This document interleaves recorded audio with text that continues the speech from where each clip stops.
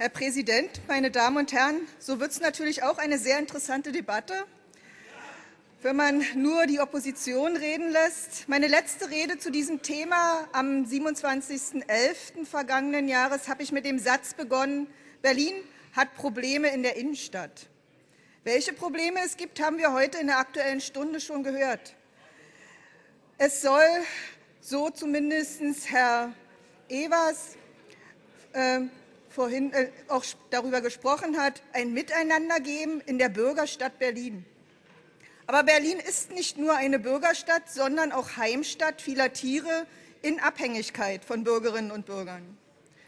Meine Damen und Herren, der Ausschuss für Verfassungs- und Rechtsangelegenheiten, Verbraucherschutz und Geschäftsordnung empfiehlt dem Plenum heute die Ablehnung des Antrags Verbot von Ständerhaltung von Pferden in Berlin. Den Namen Tierschutz trägt er nicht in seinem Namen. Trotzdem wird es erst einmal die Empfehlung gegeben. Wir haben in verschiedenen Diskussionen feststellen müssen, dass wichtige Aspekte in den im April 2009 veröffentlichten und von anderen Städten auch beispielhaften Berliner Leitlinien zu diesem Zeitpunkt zumindest, also Leitlinien für Pferdekutschwerke, aus heutiger Sicht und mit den vorliegenden Erfahrungen bei deren Umsetzung unzureichend berücksichtigt sind.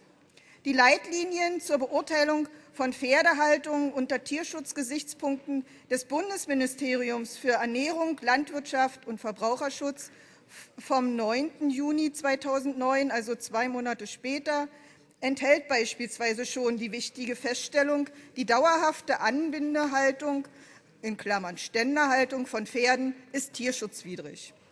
Wäre es für den Ausschuss unzumutbar gewesen, sich die Erfahrung zur Umsetzung der Leitlinien in Berlin in einer Anhörung berichten zu lassen und auch Erfahrungen aus anderen Bundesländern, zum Beispiel auch Brandenburg, hinzuzunehmen?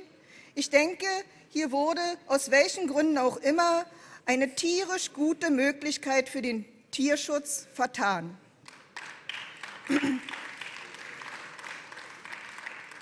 Meine Damen und Herren, zusammenfassend können wir vermerken, die heutige Ablehnung des Antrags, ohne dass die Koalition einen besseren Antrag eingebracht hat, ist kein gutes Zeichen für eine tierfreundliche, verantwortungsvolle Stadt.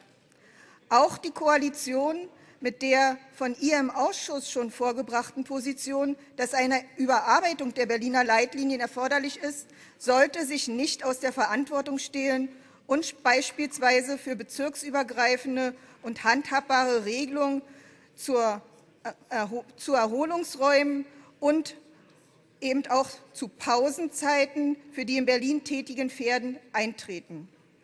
Die Pferde haben diese Regelung verdient. Deshalb stimmen wir als Linksfraktion dem Ursprungsantrag heute auch zu. Vielen Dank.